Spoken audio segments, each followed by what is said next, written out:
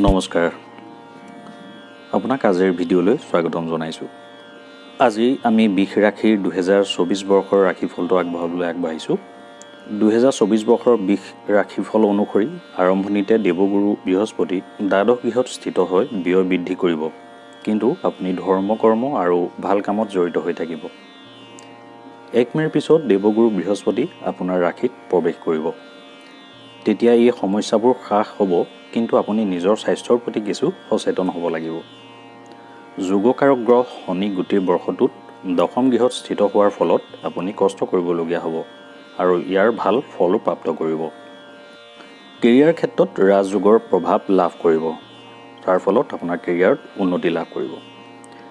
ৰাহুৰ উপস্থিতি গোটেই বৰ্ষটোত আপোনাৰ একাদশ গৃহত থাকিব যাৰ ফলত আকাংক্ষা পূৰণ হ'ব। সামাজিক ক্ষেত্ৰত আপোনাৰ জনপ্ৰিয়তা বৃদ্ধি হ'ব। বন্ধুবৰ্গ আৰু সামাজিক চক্ৰও বৃদ্ধি হ'ব লগতে আত্মবিশ্বাস বৃদ্ধি পাব। অৱশ্যে এই বৰ্ষটোৰ আৰম্ভণিতে প্ৰেমৰ সম্পৰ্কত উত্থান পতন অব্যাহত থাকিব পাৰে।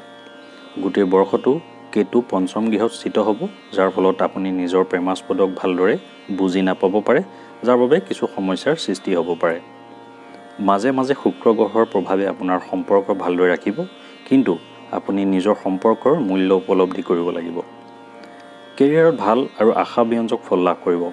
পৰিশ্ৰমৰ ফল প্ৰাপ্ত কৰিব। এই বৰ্ষত ভাল উন্নতিৰ যোগ আছে। মাৰ্চৰ পৰা এপ্ৰিল আৰু ডিচেম্বৰ মাহত ভাল উন্নতি প্ৰাপ্ত কৰিব। শিক্ষাৰ্থীসকলে শিক্ষাৰ ক্ষেত্ৰত সমস্যাৰ সন্মুখীন হ'ব পাৰে। আৰ্থিক দিশত আপুনি লাভান্বিত হ'ব আৰু আৰ্থিক স্থিতি শক্তিশালী হ'ব।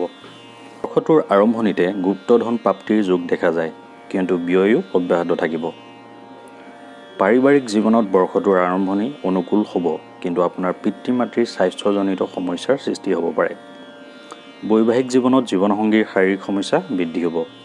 বৰ্ষটোৰ আৰম্ভণিতে বুধ আৰু শুক্ৰ সপ্তম গৃহত দ্বাদশ গৃহত বৃহস্পতি দশম গৃহত শনি আৰু একাদশ গৃহত ৰাহু স্থিত হোৱাৰ বাবে ব্যৱসায়ত ভাল স্থিতিৰ নিৰ্মাণ হ'ব।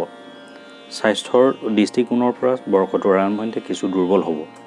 পঞ্চম গৃহত কেতু দ্বাদশ গৃহত বৃহস্পতি অষ্টম গৃহত মঙল আৰু সূৰ্যৰ স্থিতিয়ে স্বাস্থ্যজনিত সমস্যাৰ সৃষ্টি কৰিব পাৰে। অৱশ্যে বৰ্ষটোৰ মাজভাগত স্বাস্থ্য ভাললৈ অহাৰ যোগ আছে।